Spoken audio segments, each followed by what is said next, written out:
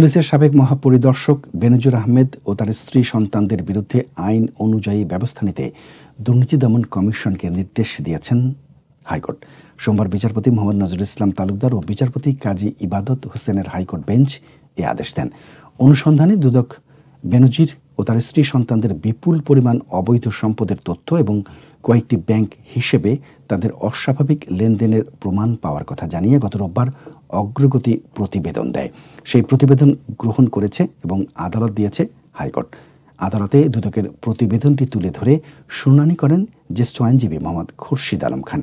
তিনি বলেন, বেনজির আহমেদের বিরুদ্ধে ওঠা অভিযোগের অনুসন্ধান নিয়ে দুদককে অগ্রগতি প্রতিবেদন চেয়েছিলেন হাইকোর্ট। সেই প্রতিবেদনটি দাখিল করা হয়েছে।